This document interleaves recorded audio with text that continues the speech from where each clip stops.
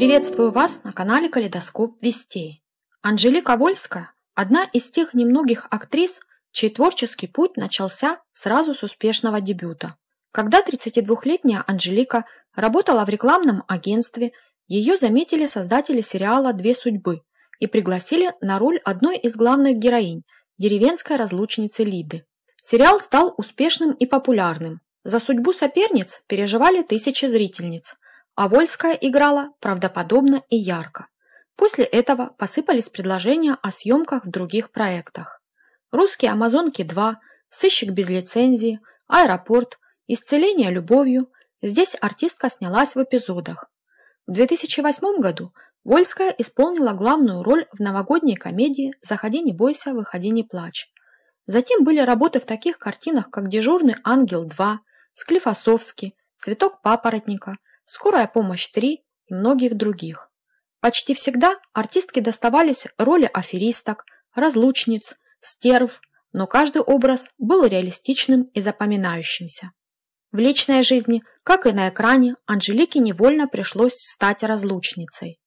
Первый брак со студентом театрального института Виктором Шлиповым продлился всего полгода. Вторым мужем стал Сергей Буртяк, актер, писатель, сценарист. Пара поженилась в 1990 году, а спустя год у них родился сын Андрей. Однако мужу не нравились съемки, разъезды. Он хотел, чтобы жена сидела дома, занималась хозяйством и заботилась о нем. Через 11 лет пара развелась.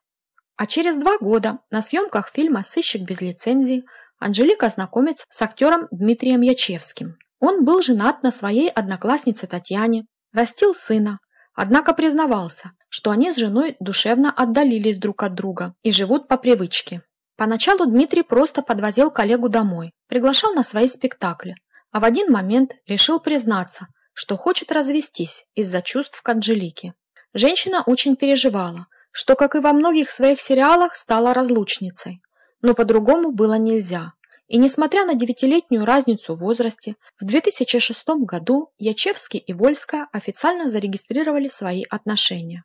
Сейчас актриса продолжает сниматься, выступает с творческими вечерами. Она активно ведет страницы в соцсетях, где делится новостями.